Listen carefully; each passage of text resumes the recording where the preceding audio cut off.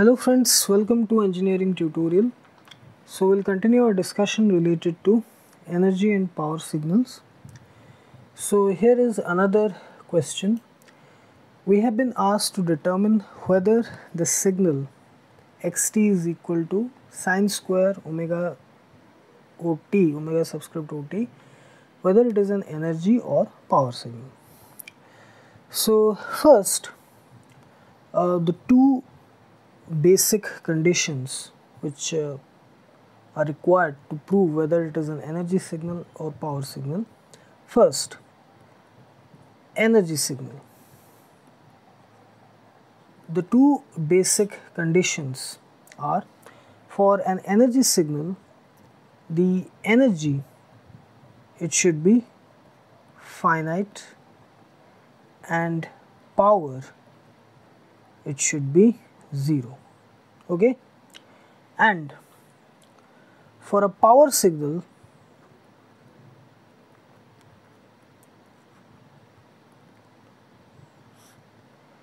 the power it should be finite.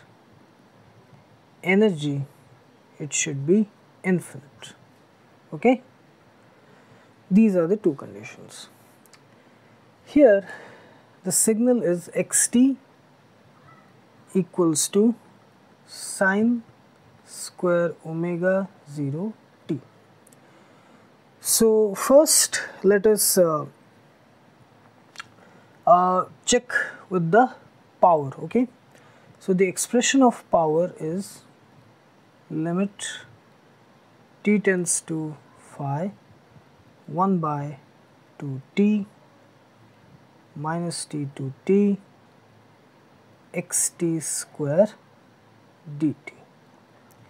So here before we proceed let us just simplify the expression xt square by substituting xt with sine square omega 0 t. It will simplify everything. Okay, xt is sine square omega 0 t. Okay, and xt square that is equal to sine square omega 0 t whole square. So if you remember 1 minus cos 2x by 2 that is equal to sine square x. Okay? So if we substitute it here it will become 1 minus cos 2 omega 0 t by 2 whole square. This. Then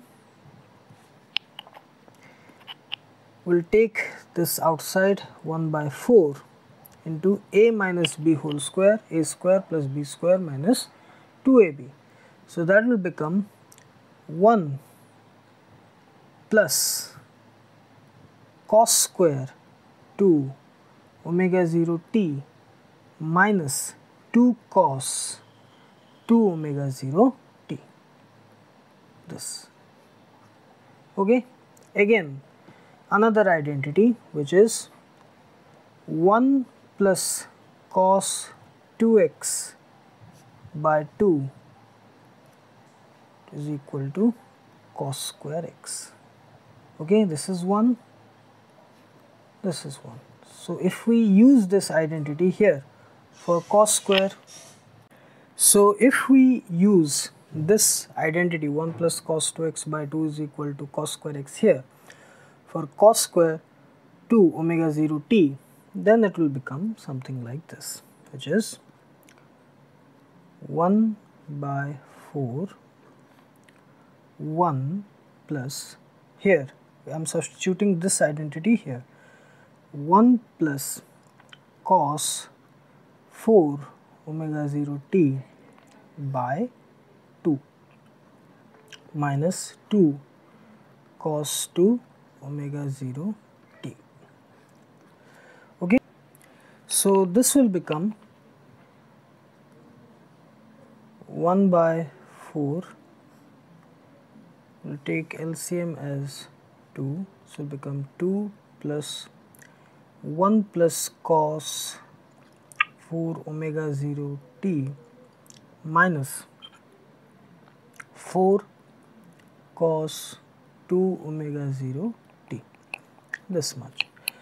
This will become 1 by 8 this 2 gets multiplied here. This becomes 3 minus 4 cos 2 omega 0 t plus cos 4 omega 0 t. This. So now instead of xt square we can directly substitute this. This is xt square for xt is equal to sine square omega 0 t. So, directly we will substitute this value. So, where we were we had to calculate the power. First we decided that we will calculate the power. So, now it will become we will use this expression P is equal to limit t tends to phi limit t tends to phi 1 by 2t okay minus t to t x t square which is we'll substitute this value 1 by 8 into 3 minus 4 cos 2 omega 0 t plus cos 4 omega 0 t dt. Okay? So this will become 1 by 2t okay? Then minus t2 t 3 by 8 dt this one minus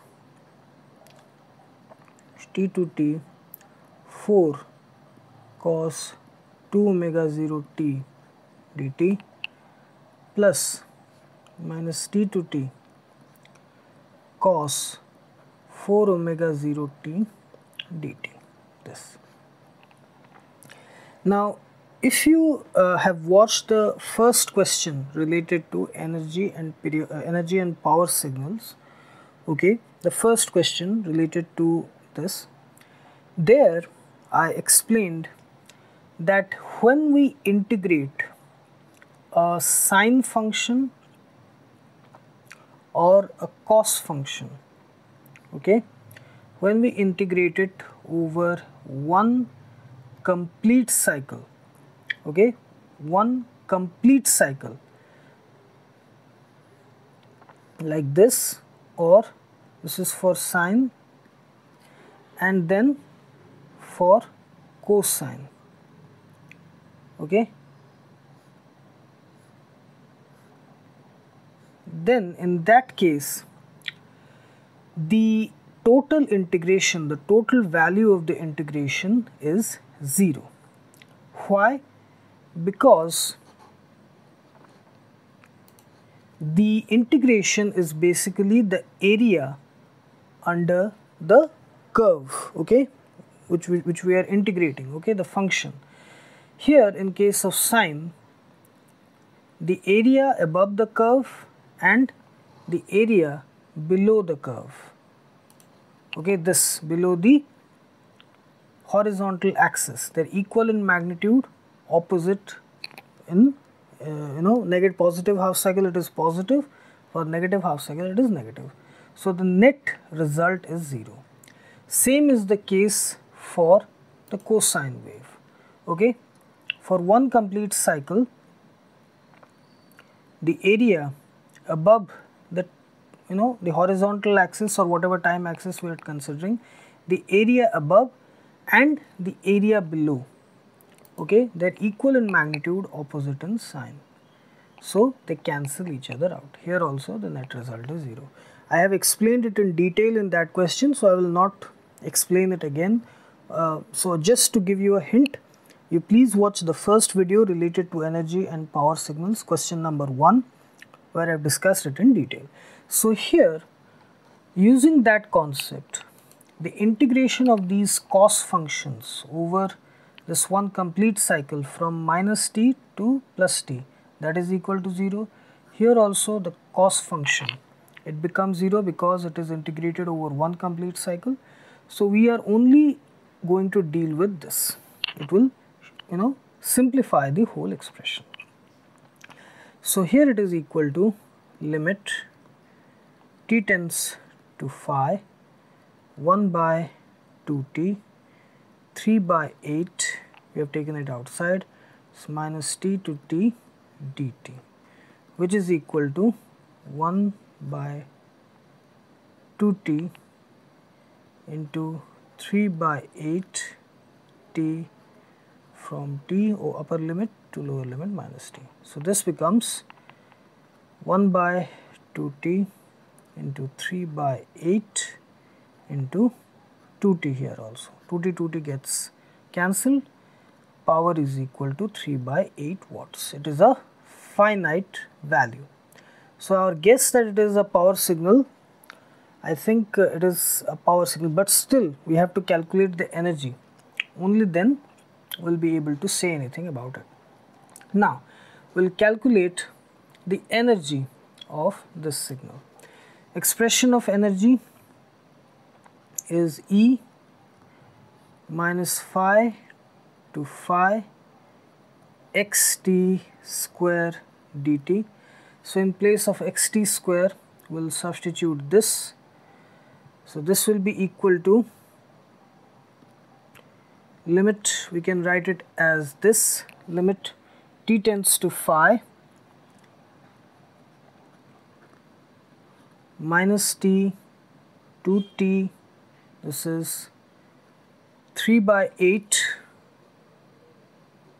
or we can just write it as this the same thing 1 by 8 into 3 minus 4 cos 2 omega 0 t plus cos 4 omega 0 t dt. So the same thing will be repeated cos functions integrated over one complete cycle it will be 0 so we'll be only be dealing with this 3 by 8 dt part. So it will be equal to C. Again the same thing integrated over one complete cycle these integrations will be 0. These integrations will be 0. So here it will only be limit t tends to infinity integration minus t to t 3 by 8 dt which is 3 by 8 dt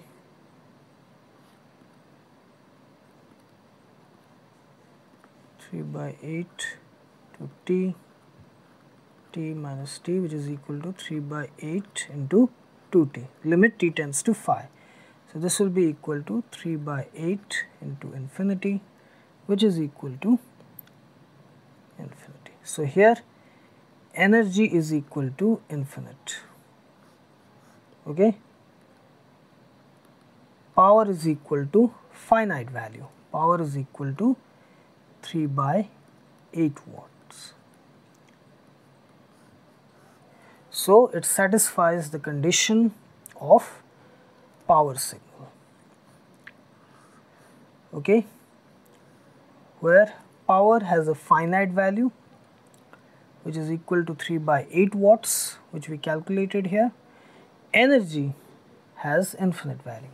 So here this is the expression of energy E is equal to minus phi to phi xt square dt. We just uh, we just wrote it in this form okay? Limit t tends to phi minus t to t xt square dt always remember just to simplify the whole thing we carried out this trigonometric expansion simplification xt square we determined this expansion we used it here.